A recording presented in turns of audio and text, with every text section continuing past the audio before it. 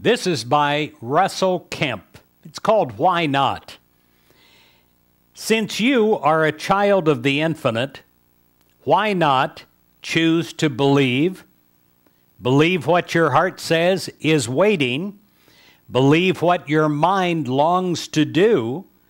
Believe that your Father in heaven is prompting you and strengthening you. Believe in your infinite background. Believe in your own inner you. Believe you have infinite daring to do what you are longing to do. My dear friend, if you are troubled or concerned about anything in your life or anyone, I'm going to ask you to ask yourself a question. Here is the question Who is in charge?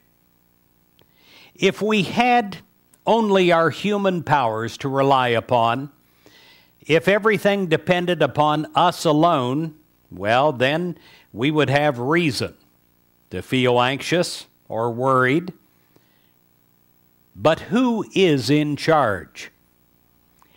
God is in charge. Let us remind ourselves of this continuously. If appearances are distressing, if we're faced with a situation that we do not know how to handle, let us say to ourselves, God is in charge. Let us give thanks that God's Spirit is at work in this situation right now and in all persons involved.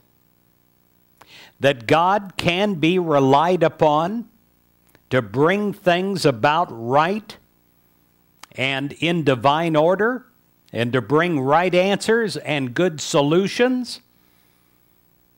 And if we're concerned about some member of our family or some person, and we don't know how to help, we don't know how to give direction, what can we personally do for this other person? Well, God is powerful to do great things for this other person. Let us say in prayer when thinking about this person and beginning to worry, let us say, God is in charge of your life and affairs.